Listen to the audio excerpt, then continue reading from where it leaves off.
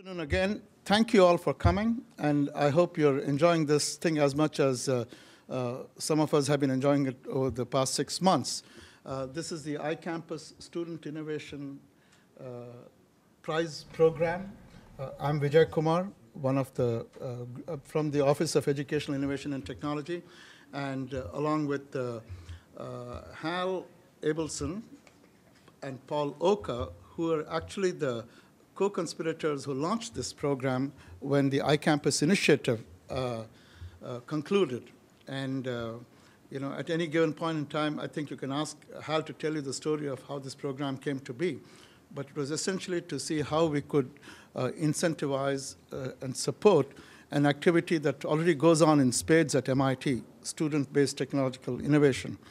Uh, you looked at what you're looking at, the five presentations that you're seeing are uh, uh, what have been generated from uh, uh 14 proposals and uh, 14 projects, and these five have, were selected to come up to this stage.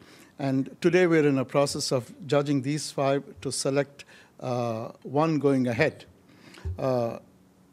my colleague Brandon Muramatsu over here, he's been actually running the program, all its dimensions, uh, putting out the publicity, inviting the presentations, calibrating, handing out these forms. So Brandon, perhaps you can come and tell us about what we need to do going on. Okay, thanks a lot, Vijay. And you can introduce the judges too. I'm not sure I know all of their full yeah, names. Okay, that works for me. So, um, thank you, Vijay. Uh, we have a number of great judges here. We'll, why don't we have the judges introduce themselves first? And so say who you are, what group you're with. Uh, we have a couple of folks from Microsoft here, so Um, my basic background is supercomputing, so not exactly this kind of stuff, but certainly computers. Uh, I'm Edwin Ward. I'm the Senior Academic Developer Evangelist for Higher Ed New England, and I work at NERD, and there for just over 10 years. You want to, you should get up, Paul. My name is Paul Oka. I'm a Research Program Manager with Microsoft Research. Me and Hal have been working together for around five, six years on campus. Eric? Uh, I'm Eric Klopfer. I'm a professor in course 11. I run the teacher education program and do research on educational technology. Okay. Oliver? Uh, Oliver Thomas, uh, former MIT student and currently staff in ICT. And Dan? Yeah, Daniel Hastings, I'm professor in aero astro engineering systems and dean for undergraduate education. Okay, great. I got all the judges, right? Yeah, the others of us are ex officio. Um, so what we've asked the students to do is prepare a five-minute presentation with about five minutes of Q&A. I told them that we were going to do a random draw to see uh, who goes first, what order. Um, one of the other things to do for everybody, for all the students certainly, is we've got some video release forms. We'd like to make sure that we get your permission to use the, the video and the photos that we've been shooting. And the photographer, Jeff, who works in our office, OEIT, um, has them at the back. He'll be passing them out. Did I get everything? We can do them for everybody. That way we're covered. Okay. So the question is, who gets to draw these? I guess we'll make Hal do it.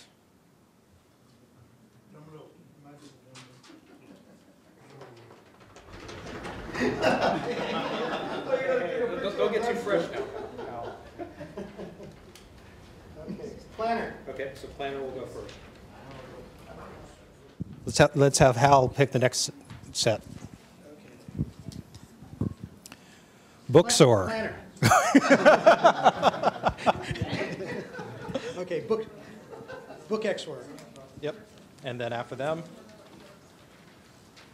Okay, crowd skimmer. Crowd Skimmer will go third. Okay, PSET Central.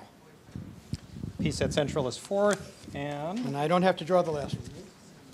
There, there, there's, there's anticipation. Books picker. Okay, great. Thanks, Hal. Uh, hi, everybody. My name is Adin Shmaman. I'm uh, a sophomore in electrical engineering and computer science, and I'm here to talk to you guys about Planner.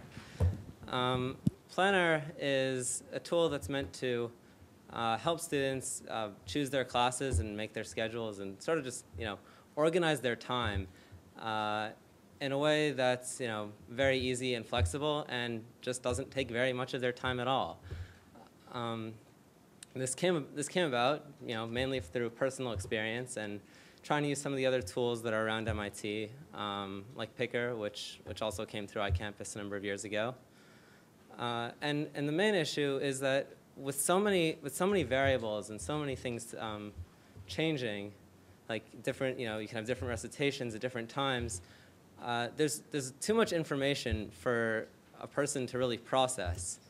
Uh, you can end up with you know a number of freshman classes getting like 900 schedules that don't have any conflicts, and you don't even know that you you know, and you're still having to sort through the ones that do have conflicts. So how are you going to do this? Uh, so the answer that you know me and, and my team came up with was, I don't know, just ask. Um, ask ask the user for you know their preferences. How is it that they would like their days to be sorted? Do they want their days to start late? I would. Um, you know, do they are they are they somebody who likes their classes to start early and you know and end early so they can go and you know year off until all hours of the morning? Uh, these these are the kinds of questions that we tried to answer, and I think you know we did pretty well. Um, this was this was implemented uh, using uh, ASP.NET, uh, running you know which is um, uh, running on Microsoft's um, .NET framework. Uh, well, sort of. It's actually running in the open source version Mono, uh, running on some Linux server or virtual virtual machine run by uh, MIT's Student Information Processing Board.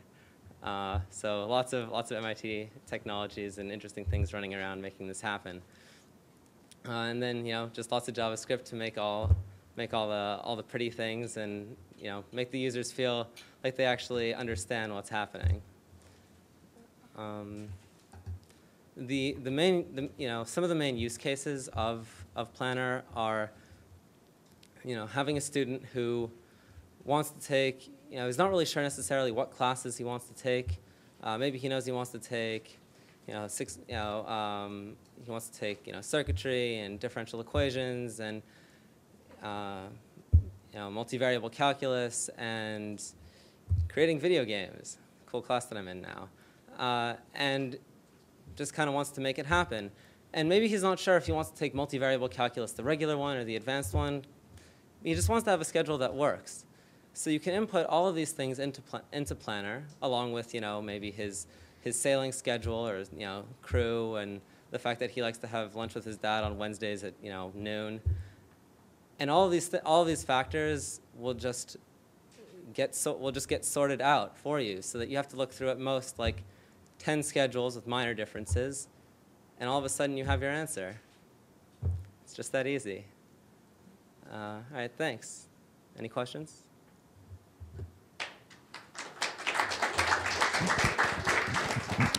Thank you. Any questions? So is there any sense to which it actually optimizes anything? Uh, is there some, I mean, is there it- some objective function you give it to optimize? Uh, so we played around with using uh, objective functions and heuristics. All right. Uh, we settled on heuristics mainly because uh, they're easier to tweak after talking to users, um, and it's not necessarily the case that you you want like every class. Uh, you know, you want to give like a, a total order and say, I want all of my classes to be so- sorted first by you know, how, uh, how late they start, and then by how early they end, and then by how clustered they are, you know, and then by whether I have lunch or not, you know, uh, or how much time I have for lunch. Uh, sometimes you just want, sometimes it's sort of a mix of the things and not necessarily in order. Uh, and if you have a mix, you can't, it's, it's hard to do that algorithmically. Um, and so it's, mu- it's, it just kind of came out nicer to do it with the heuristic. So, so, so that's why you generate a whole set of them. No, the, the whole Uh, set is generated because there are so there's the set is the number of possible schedules that can exist. Um, which you know without any kinds of conflicts. Which you know if you've got ten different recitation times that you need to choose one of, Yeah. yeah. Right. there's automatically large numbers of them. Uh, the sorting is what's done heuristically and what allows it so that instead of looking at 100 or 200 or eight, 900 schedules, you're looking probably at the first 10.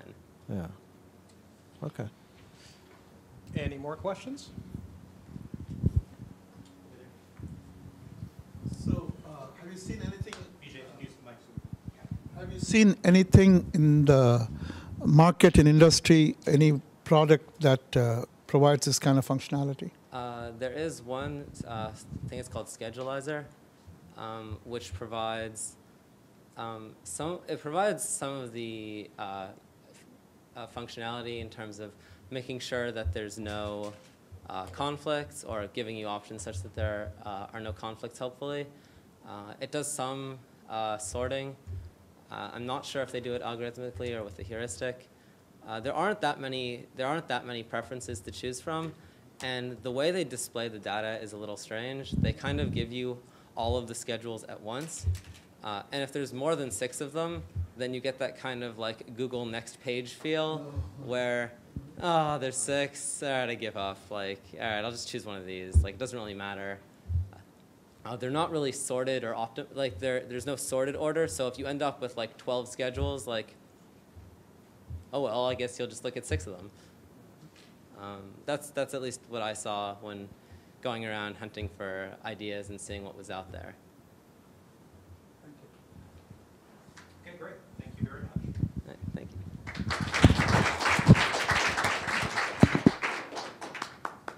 Next up. I forget. Bookzor. All right, hi everybody. My name is Peter, and this is the rest of the team: Ilya, uh, Calvin, and Erica. And we worked on a project called Bookzor, and it's a learning management system along the lines of Stellar, Blackboard, or Moodle. And basically, we saw a lot of problems in those systems, and we wanted to improve them so that teachers could get more out of them and students could get more out of them as well. So, next slide. Cool. Okay, so one of the problems with Stellar, Blackboard, and Moodle is that they really don't provide very much information to the teachers about what students are actually doing. Um, so, for example, they have no idea whether the students read chapter one or chapter two, or whether they even looked at the P set, right? Until the next time the test is taken, which might be a month or might be the end of the semester when they have some sort of evaluation about how the class actually went, right? Uh, another problem is that they have pretty bad workflow. So if you want to ask a question and you're reading through the course materials, you have to go out three levels, click on the forum, post a topic, and type in your question. And no one is ever going to see that question again, probably, unless the teacher specifically says, go look at the forum, right? And so we, what we wanted to do was uh, improve this workflow so that you ask and respond to questions in the flow of actually learning. So the first thing that we provided for the teachers is usage, usage analytics about what the students are actually reading. So it's down to tenth of a page resolution, uh, second by second. What were the students reading on each page, and why were they actually learning it? So uh, when the student logs in, they see sort of a list of possible things that they could be doing, whether it's reading for a lab or homework prep, lecture prep, exam prep, stuff like that. So we can actually generate a plot for the professor of what was being read on each document for what purpose, and they can also see which documents in their class were used for which purpose. And this gives the teacher a lot of feedback that might help them understand that, you know, on page 20 was never read by any of the students, uh, and so maybe they should mention that in lecture. And maybe it's like a big problem. Maybe that's going to be on the test, right? Um, and the second problem was the dis- discussion, the communication tools. And so what we actually did is allowed students and professors to have a discussion in the margins, where you could have a thread specifically tied to one paragraph or a figure or something like that. And uh, it's sort of integrated into the workflow because as you're reading, you have a question, you just click on the margin, type in your question, and professors and other students can get notifications that a question has been posted, that you might know the answer. Um, and so a discussion ensues actually on the document. Yeah, go for it. So this is sort of a, a live view of the analytics. This is sort of by page number, uh, and this is the average time spent on that page. And as you can see, students read, you know, the first page, the 22nd page, and the 44th page, and not much in between. And that could be really valuable information for a professor uh, if they actually want to make sure that their students understand the material. Um, go ahead. And this is the actual viewer where the students need to view the document in order for us to collect the analytics and host the discussion. So uh, this is, we have live chat, which allows students to chat with the TA or the professor or just other students in the class. And then uh, over here, we have the discussion in the margins. So you, this, you just click on this bubble, and you can see a discussion slide out. And you can talk to the TAs or whatever. And just sort of as you're scrolling through, you see these discussions that are fundamentally tied to these paragraphs or diagrams. So, yeah, thank you. Uh, we have a lot more work to do. Uh, we've been getting feedback from professors and uh, some students, and so we're working to fix all the problems that have come up. You have any questions?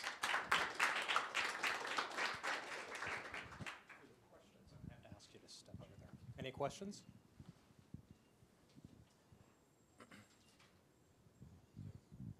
Okay, go ahead. You're getting uh, feedback from professors, so um, one of the challenges might be, I don't want all that data. Could That's- repeat the question, please? Repeat the question. Repeat the question. Oh, sure. So the question is, uh, professors might say, you know, I don't want all this data. So, so what, so what, uh, what, what's your feedback been so far, and how might you sort of think about distilling that to sort of the most useful information? Sure. So what we've heard so far isn't I don't want data. It's that they might not know what to do with the data.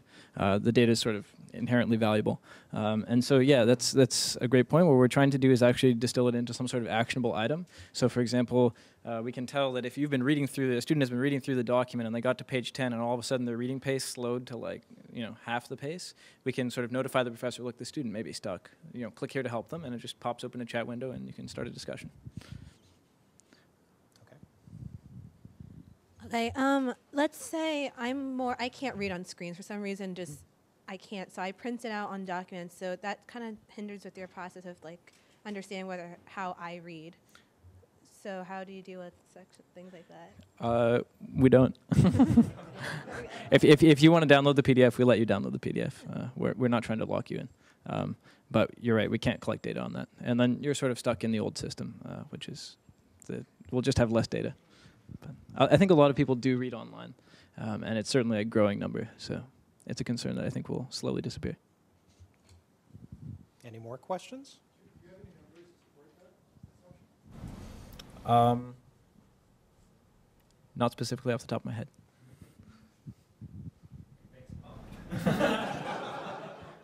it's growing 10% per year. Well, there's a lot of different readers out there today, right? So I Right. use a Kindle to read, you know, tremendous amount of uh, books. On, uh, you know, you download PDFs today. Uh, tablets are becoming very popular, so iPads.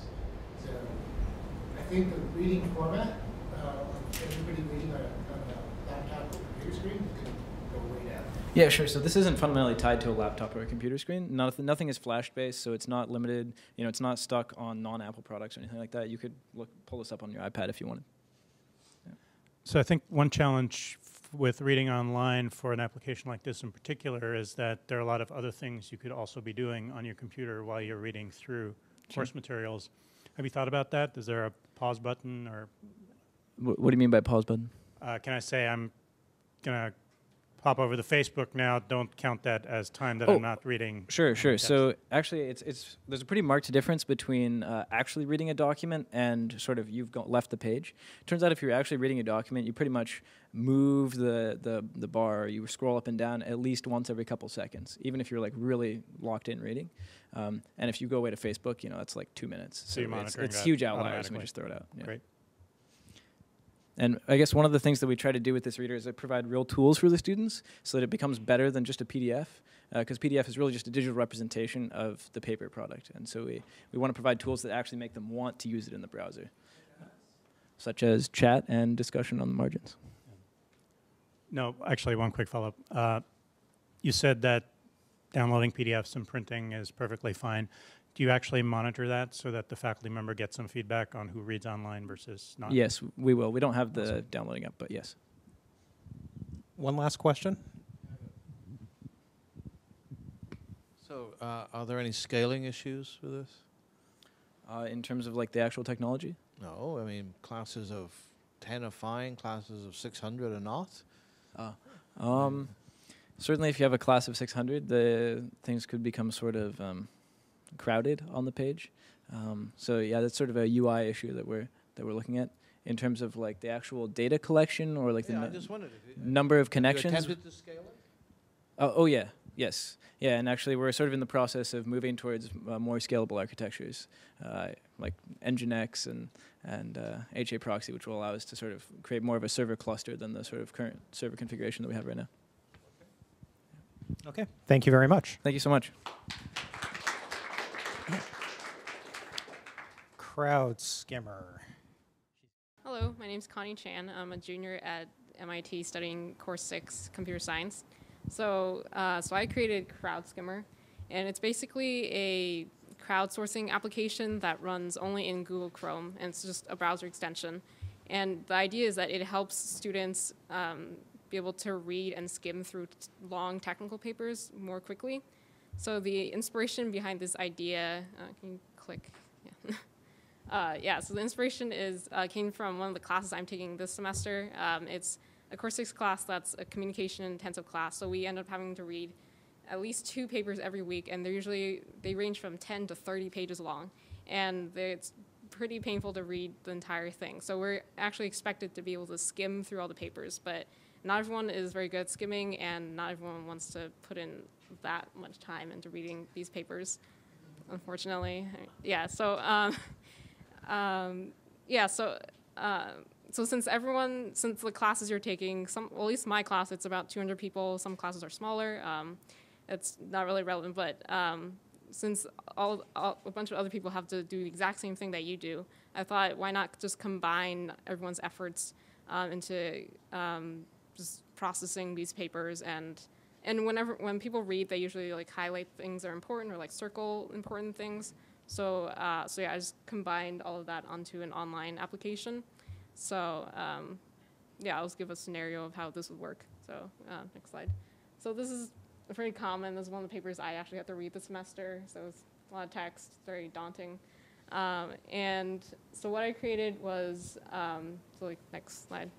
Yeah, so uh, instead of just having to look at that like PDF, uh, you can, uh, so the Oh, let's cut off the top, but um, you can't really see it. and It's kind of important, but uh, yeah. So uh, the application I created um, basically takes the PDF and puts it in a viewer, and then allows you to uh, allows anyone on the internet because it's completely anonymous. It's open to everyone in the world uh, to highlight what they like the important phrases and also uh, type in what keywords they think um, whatever keywords there are, or like key ideas.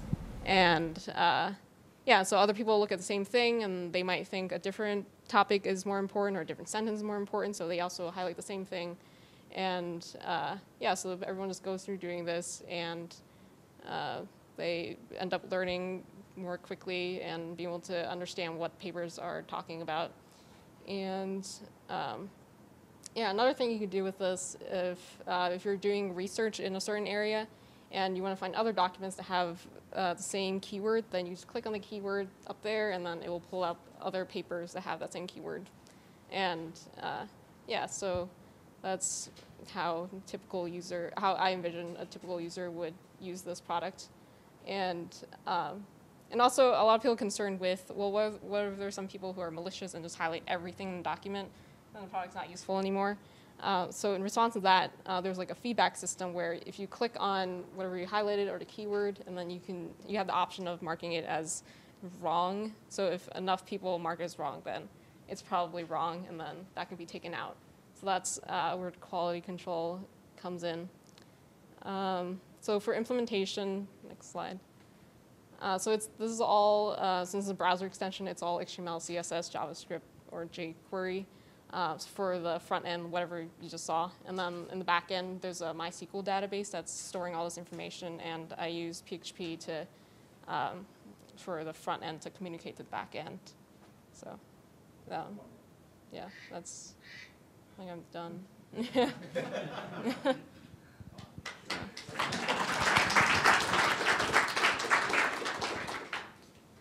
yeah. I saw Vijay's hand go up. No, I wanted to ask you this, then I forgot. So the database that's getting updated? you know, Yeah. The, the, the crowd goes and says, you know, this is wrong, right? Yeah. Database gets updated. Is that irreversible? What happens if subsequently a whole bunch of people say there's something missing over here? What, what do I you mean, mean? it's a document, I mean, I was thinking about Wikipedia. Yeah. Wikipedia is co- continuously up, Right. uh, uh, updated. Uh-huh. You take stuff out, you put stuff in. Okay. And uh, I was thinking, what, I mean, was trying to understand how this thing continuously updates the shared document. That was my. Um, so when you highlight something, then it'll just, Uh, yeah. I mean, I can after do a demo right now. If it's within your, I don't want to take away. Uh, yeah, it's, I mean, it's already up, so.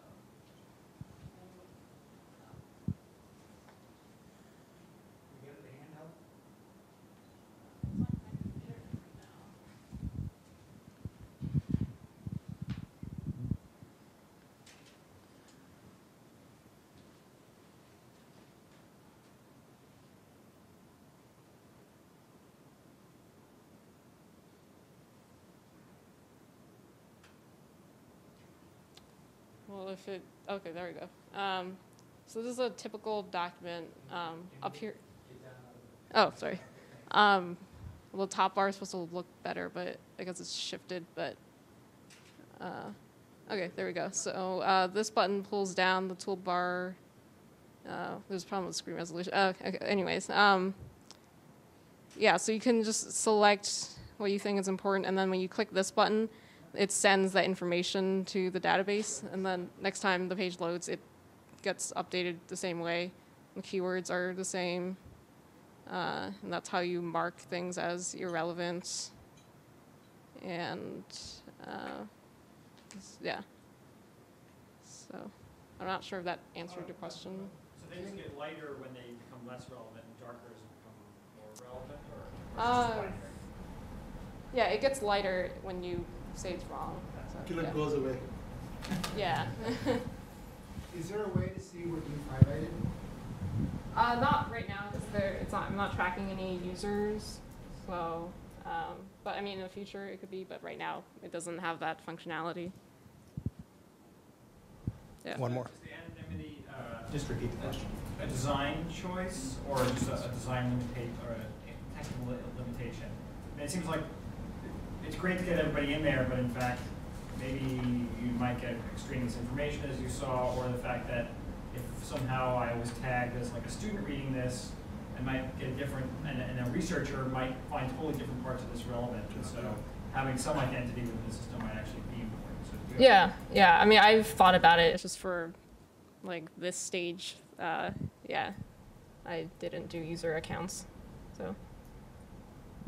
And I mainly wanted to see what actual users thought like user accounts should be divided into, because there's a lot of different ways you can create accounts. So I wanted to see what other users thought first. Okay, any more questions? If not, thank you very much.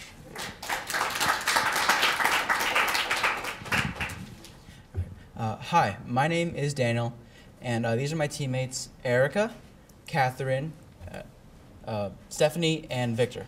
And together we are the PSET Central team. PSET Central is an online study group management interface designed for MIT students that, unlike texting, emails, and forums, provides MIT students with an integrated, centralized, campus wide approach for finding, creating, and organizing study groups. Uh, next slide, please. Oh, back one. okay, so uh, let me introduce you to Caitlin. Uh, Caitlin's working on a PSET. It's 2 a.m. in the morning. She's completely stuck on working on this physics PSET. In addition to this problem, um, the weather outside is just awful. She's not going to be able to go out to work with her usual friends. So who can she work with? So using PSET Central, going onto our website, she could really quickly find other people in her dorm who are also working on that PSET, and then together they could work on this PSET. And by collaborating, they will not only finish the PSET faster, but they'll also learn the material better. You might be asking, how exactly did Caitlin find her study groups? Well, upon entering PSET Central, Caitlin can immediately go to um, go to the Join a Group uh, tab, and a list of all the current groups will be displayed. From there, Caitlin can go through the groups by class, location, and time. um, in the case that Caitlin could not find a group that fit her need, to fit her needs, she could very easily and quickly create her own group uh, by filling out a simple form.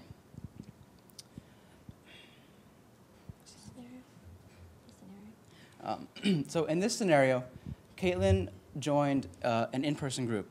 PSET Central also supports uh, two different types of uh, study groups, uh, both of which are online. Uh, the first one is via chat rooms, and the second one is via an online whiteboard. So, uh, Caitlin can keep track of her groups using our four-way real-time notification system, which integrates texting, emailing, Facebook, and also we have our own internal notification system.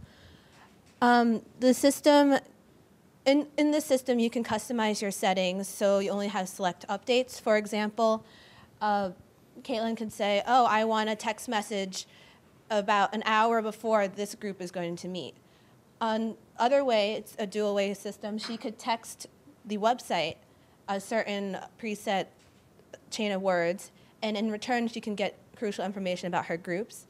And another thing she could do is she could um, invite other friends to her group via Facebook and via email.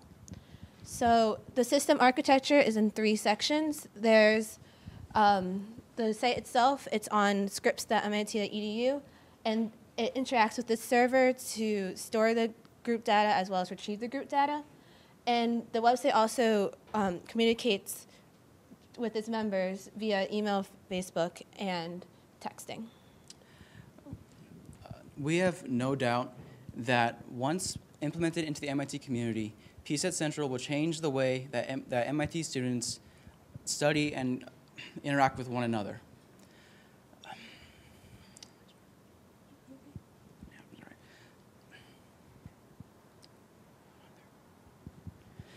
sorry, sorry, a little, a little nervous.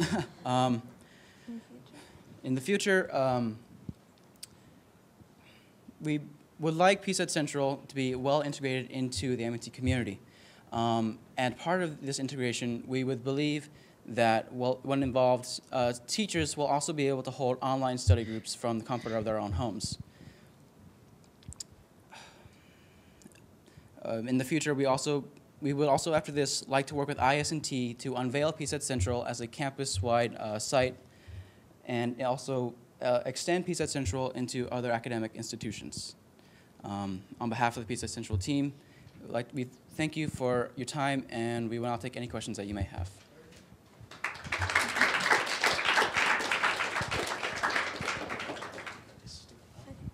Questions? Uh,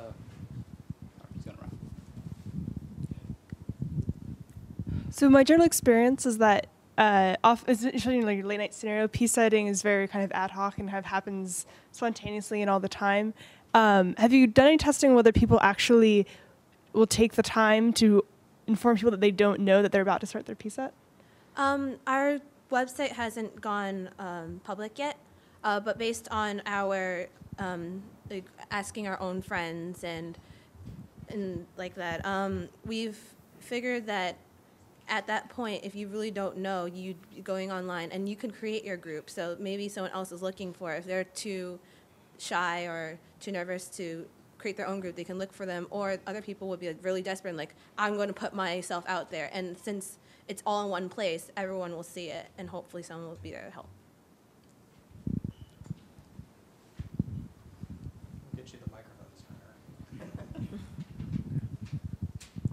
Have you thought about issues in uh, privacy and security? So if you're having people sort of try to meet each other and they don't know who they, who they are and how they create accounts and how they verify that information?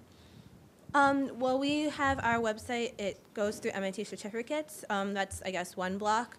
So you are guaranteed it's someone from the MIT community um, that you will be working with. Um, I personally feel that I feel very safe on campus, so I think that would work well. Um, other than that, we do have. You were saying privacy issues? Yeah. Um, I think. I think certificates address that as certificates well. is probably like the main thing we have out there for it.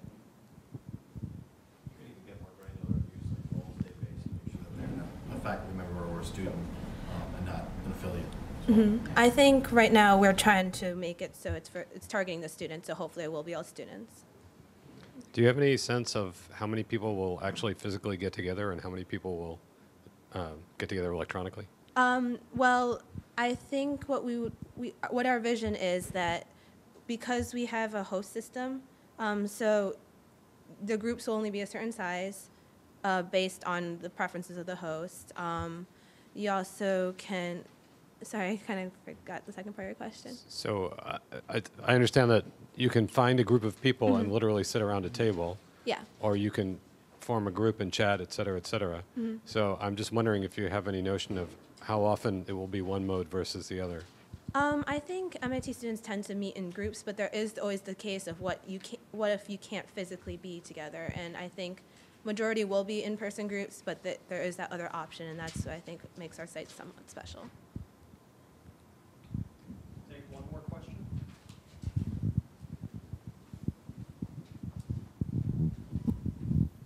Are you in any way addressing kind of where people are in an assignment? Because just working on the same assignment as you doesn't necessarily mean that we're kind of a good match to work together, right? Is there any sort of these people are good matches based on kind of where they're in the material or anything else? So they're you saying like, let's say I have a five-page, uh, I mean, a five-question problem set, and I'm on one, and someone else is on three? right? And so imagine we're on different parts of the P set, Mhm. and we have different learning styles. Not necessarily actually should be working together, right? It's not. It might come and hinder your efforts instead of helping you out. I think that our website isn't, it's, we're hoping that the formation of the group, whether it works or not, is something we can't really control. And hopefully they will try again in another group or find other ways to work with it. Thank you very much. Thank you. I want to talk to you today about Bookspicker. Bookspicker was made by me, Jonathan Goldberg, and Rodrigo Ipince. So it was, it was made by the three of us, uh, as depicted here as pirates. Uh, the trick behind the pirate theme of our website is that our main goal was to free up this uh, textbook information monopoly that exists at MIT. Uh, before Bookspicker came along, the landscape was that if a student wants to figure out what books they need, they either have to wait until the professor tells them during the lecture that, oh, you need this book, or you go to the coop and try to buy it there. At the end of the day, this ends up costing you a few hundred extra dollars, and we wanted to change this. And so, we, uh, we made Bookspicker. Bookspicker has quite a few features by now, and um, I guess essentially, the first tackle, first, first issue we tackled was this textbook information issue. We went around, we saw, we tried asking people, why is the situation like this? Why is the COOP the only people who has this textbook information? Sure, the libraries have some information like course reserves and whatnots, but at the end of the day, I can't really go and ask the library for this class which books are required. And so we made this thing called Bookspicker. Um, and essentially, it has a few main features. You can get on this website, you can find out which books you need for what classes, and then it'll tell you what um, are the best prices for these books. Whether it's online from a reseller like Amazon or eBay, whether it's locally from another student, or from the bookstore. We're trying to get you the best books at the best prices. And so those are the first set of features. And then we built a local marketplace on top of that so that we could really get student offers into our database. And on top of that, really give a set of really cool features that students can use to buy textbooks. So Rodrigo Ipince actually worked on his thesis um, on this topic. And uh, we came out with some really cool features from that. So some of the features include social prioritization.